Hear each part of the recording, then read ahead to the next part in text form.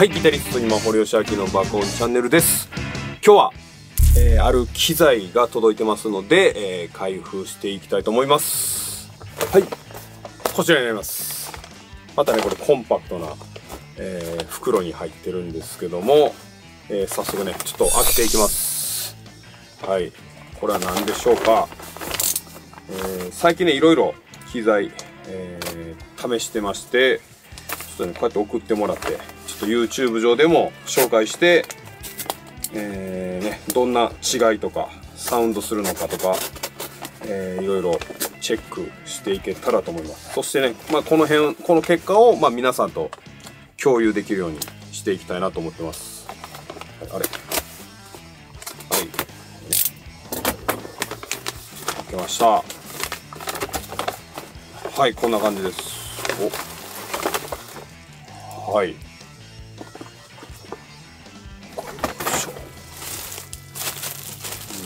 じで売ってます。まだわからないですかね、はい、これ伝票ですね。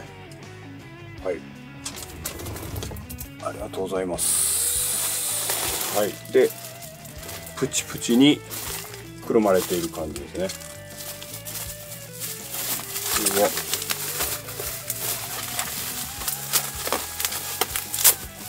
はい。開きました。はい。こちらになります一気に出しますね。はいじゃんこちらねケーブルですね。えー、何種類か。えー、まずこれはこれねプロビデンスのパッチケーブル。えー、これはですね P203 はい。まあ L プラグではいこういう感じで。これ2つ。はい。えー、高音質と柔軟性低ノイズ。パッチ専用のザ・パープルケーブル。レンジが広くオールラウンドということですね。はい。でこれがはい。これシールドですね。ギターの。まあこれはギターにエレキギターにはなくてはならないシールドですけどプレミアムリンク Z102 ということで、こちら、えー、送ってもらいました。はい、いい感じですね。で、これですね。こちらまたね、ギターのケーブルなんですけど、E205、はい、モデルということで、えー、これ3メーターのやつです。はい。そして最後にこれ、あ、これですね。これはスピーカーケーブルですね。スピーカーケーブル。えー、っと、SP1、えー、SP601、えー、の1.5メーターということで、これね、これはアンプとキャビネットの間につなぐやつです。はい、あと、まあ、プロビデンスで言うと、この以前、すでにね、僕こちらは使ってまして、こうね、トモ藤田モデルということで、このケーブル使ってました。とてもいい感じで、えー、使ってたんですよ。これ2メートルということで、2メートルですね。なのでちょっと短いなと思って、今、3メーターのやつで、また別の、えー、ケーブル何種類かあるんで、えー、僕がちょっと気になるやつを、えー、いくつか選んで送ってもらったという形になります。はい。まずは、じゃあどうしよう。ちょっとこのスピーカーケーブルはちょっと後でチェックするとして、これですかね。この E205 と Z102。この辺を、えー、ちょっと比べてみたいと思います。ちなみに僕がいつも使ってるやつは、これですかね。こういうゾマーケーブルっていうドイツの、やつか、これですね。これは、えモガミ。この辺使ってます。はい。なので、まあ、この辺とどう違うかも、ちょっと比べてみたいですね。はい。あと、パッチケーブル。これね。これちょっと開けてみましょうか。はい。あ、ここれでね。こういうチャック形式。あ、いいですね。えっ、ー、と紫色の線にプラグがゴールド。これいいですね。ゴールド。はい。やっぱゴールドだと、まあ、僕の経験上トラブルが少ないというかこうあんま酸化しないので、えー、結構いい感じに接続できる。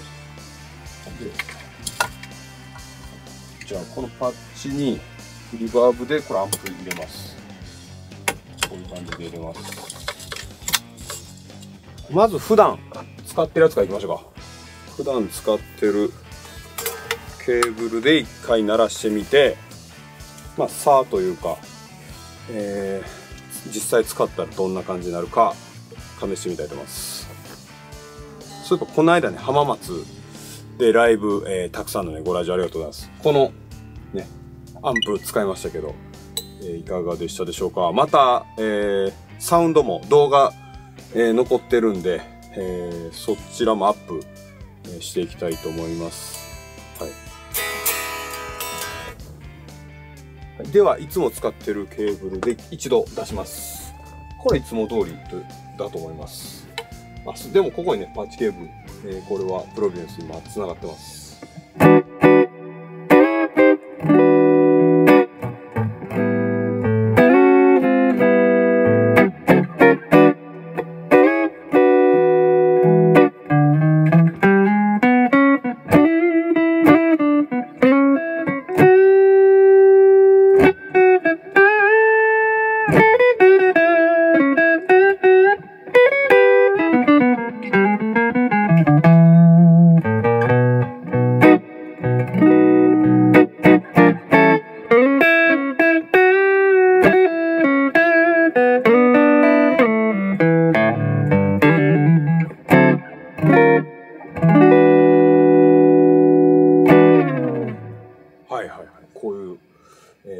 すごいいいですね。えー、では、ケーブル。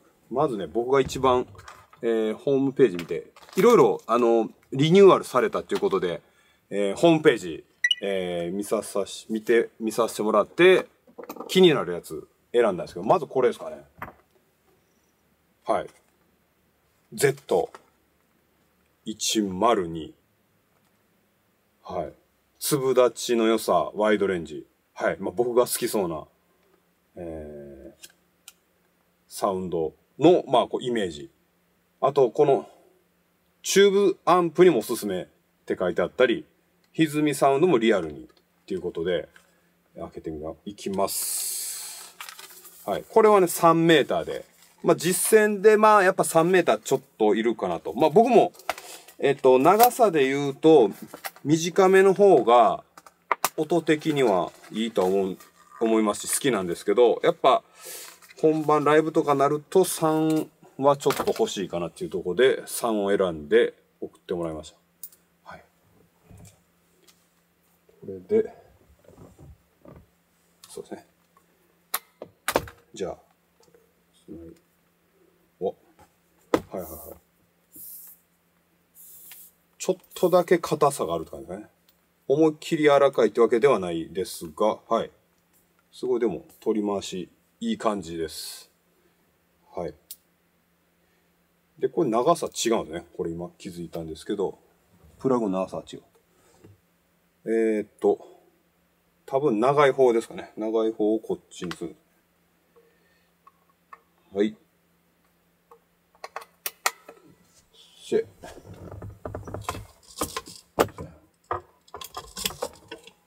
これでいきます。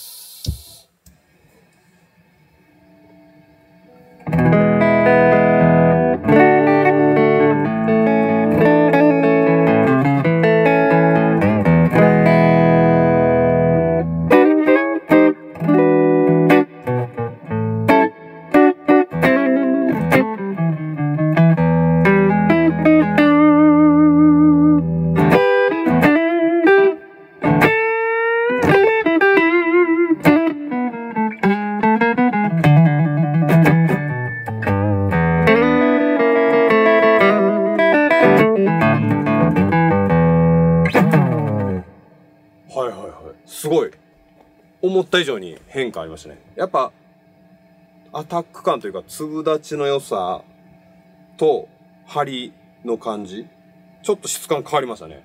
はい。あと、ちょっとこう、太いあったかさみたいなのもありました。ちょっともうちょい弾いてます。これリアですね。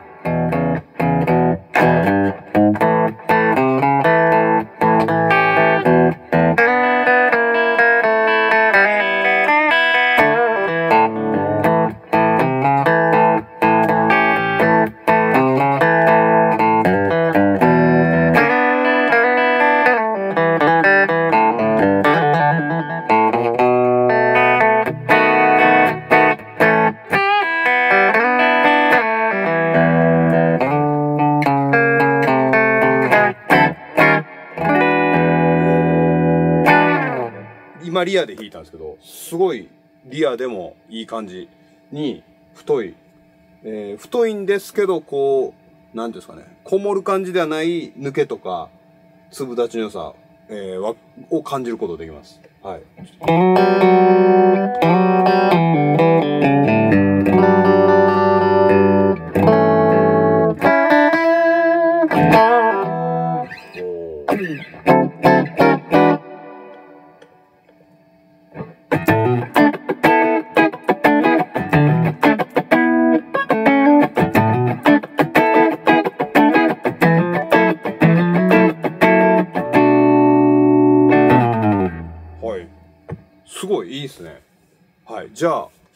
流れで、比べていきたいですね、これと。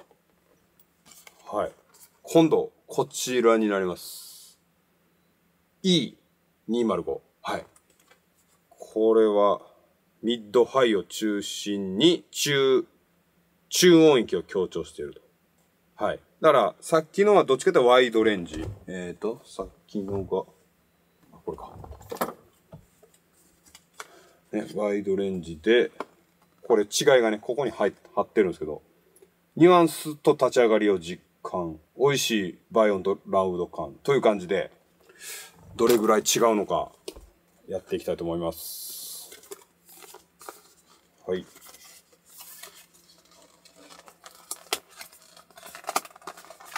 これも3メーターで用意してます。3メーターで、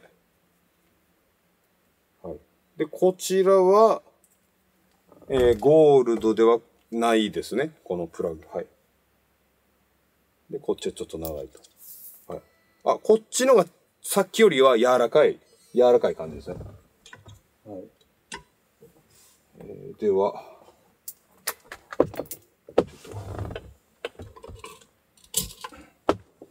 はい。では、これいきます。E205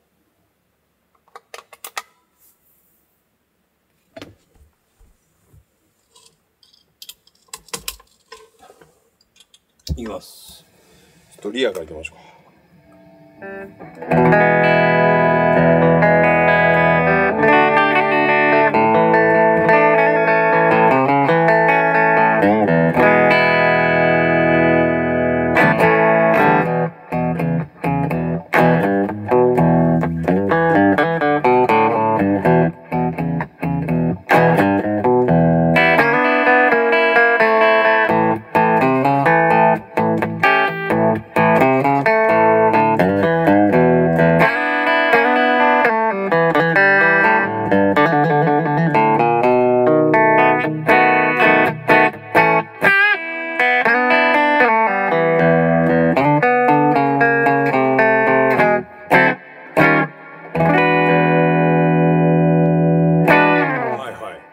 然違うんですね。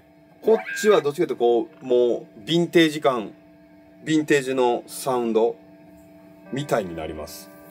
はい。すごい。えっ、ー、と、だから、そうですね。やっぱハイミッド、ミッドハイか、を中心に、やっぱ中域が強調されてる。まあギターの美味しいとこですね。美味しいとこがすごい、えー、強調されてるなっていうところね。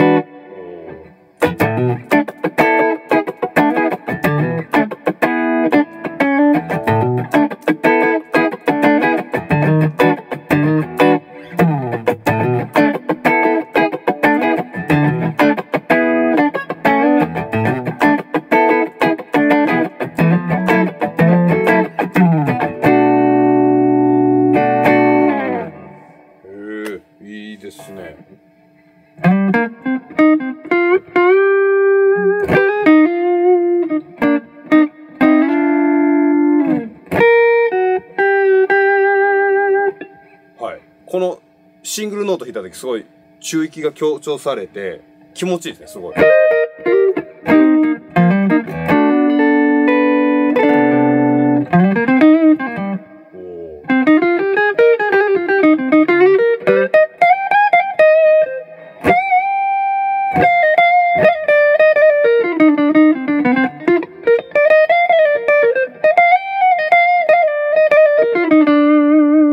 はい、すごい弾きやすいですね。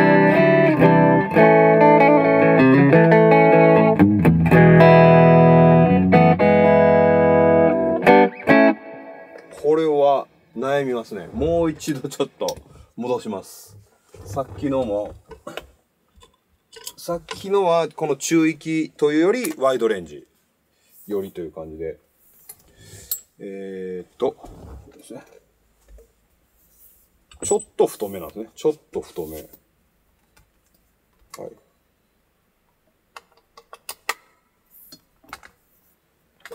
れで。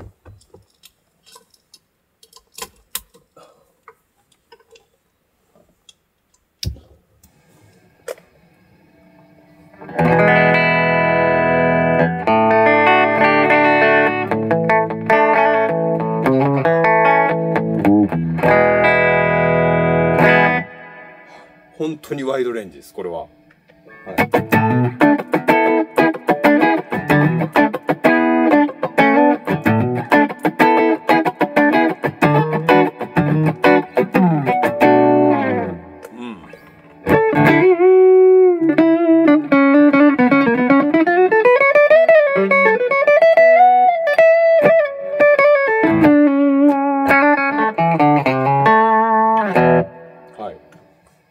歪みもいいということなんで、歪みに合わせます。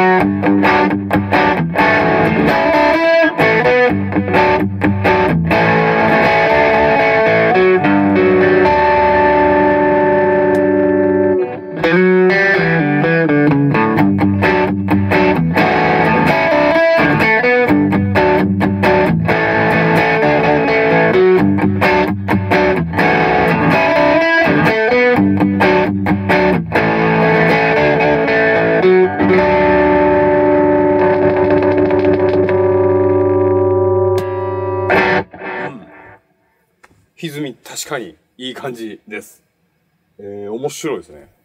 やっぱこれで音楽のちょっと種類に、あのー使い分けたくなる、えー、感じですね。両方ともすごいいい感触です。では、これですよね。これ僕かなり気になってて、どれぐらい変わるんかなっていう。スピーカーケーブルは結構音変わるんですよね。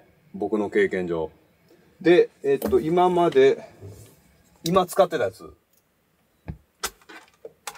は、まあこういう、まあよくあるベルデンの白黒のやつ。これをまあ基本で使ってます。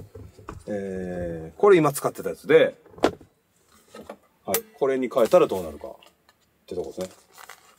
はい。これは気になってますね。はい。すごい太めです。で、えージャックもかなりさっきより太いやつですね。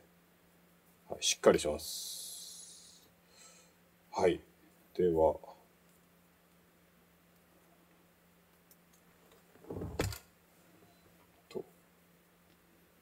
ちょい長め、1.5メーターにしました。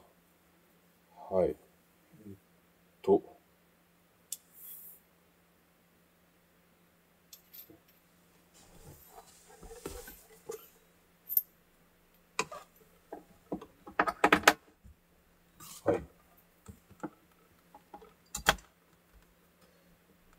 はい、つけました。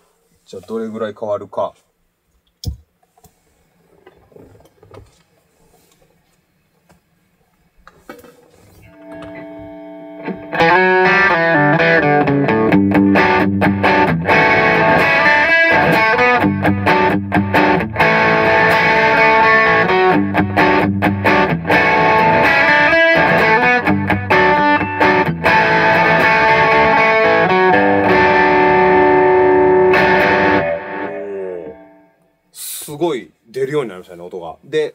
結構太い、えー、音域、えー、低域とかもすごいしっかり出るようになったと思います。はい。ちょっとビデオでわかるか、えーどうか、ちょっとわかりづらいかもしれないですけど、結構変わってます。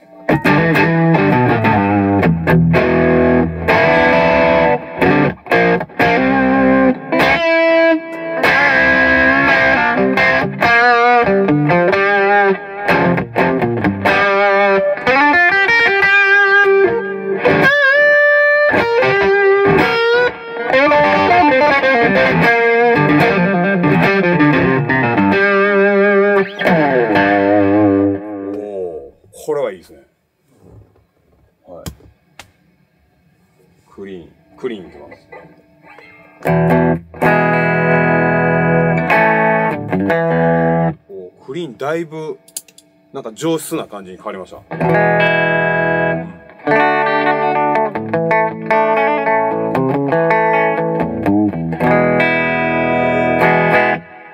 なんか別物のアンプみたいになりましたね。今特にクリーンにした時にあのすごい変化を感じました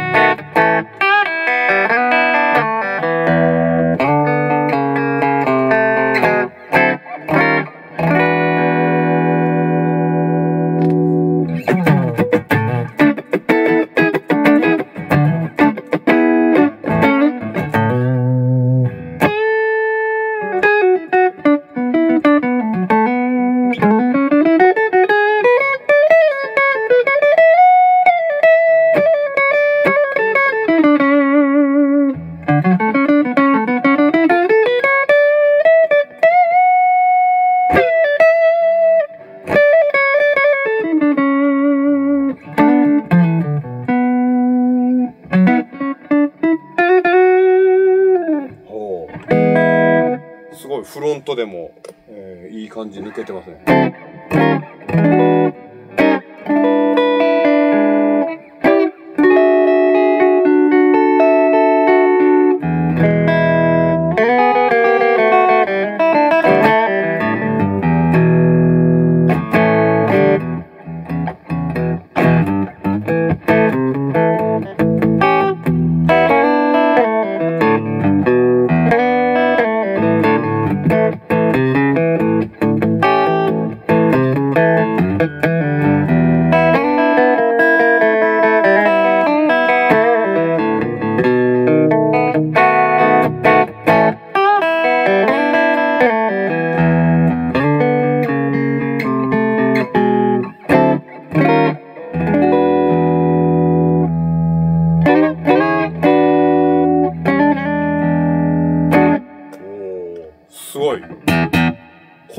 はねもう即採用していきたいと思います。はい。すごいいいですね。あとはまあこのケーブルやっぱりやるジャンルによって使い分けするといいかなっていう感じですね。これ、えーレンジやっぱ広いのは僕のトリオとかはそういうあの演奏が多いんでそのレンジ広い方がいいかなっていうところもあるんですけど、やっぱこっちのミドル、中域が出やすいやつは、そうですね、セッション的な、うん、いろんなギタリストがいたりとか、するときに、混ざるときにいいかもしれないですね。えー存在感を出すために、もう一回、いきます。これが、えーっと、こっちですね。今、つなが E205。おーそ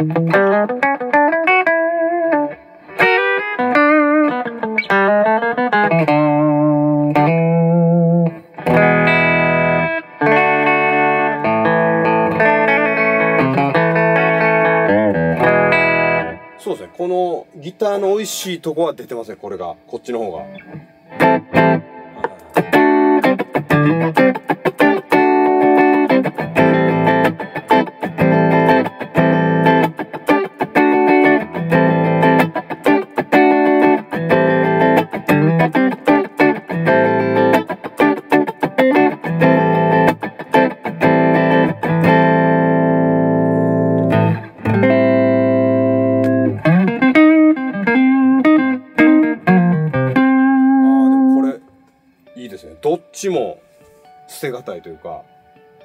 やっぱそのシーンによって選ぶのがいいかもしれないですねやっぱりまあちょっと引き続きこの辺はあのいろんな、まあ、今振りシャキトリオでも使ってみたいですし、えー、セッション活動とかやっぱこれ一人で弾くのはやっぱこの、えー、205これねギターの惜しいとこ出るんでこれいいかなという感じでトリオバンドはこっちで使ってみようかなと。ちょっと今、そういう想像でやってます。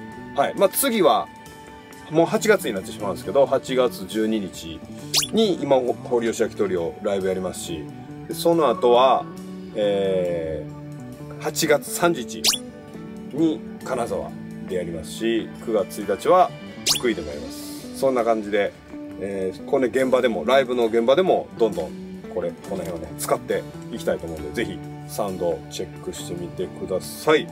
はい。ということで今日は、えー、このね、プロビデンスのリニューアルされた、えー、ケーブルの開封動画でした。はい。最後までご視聴ありがとうございました。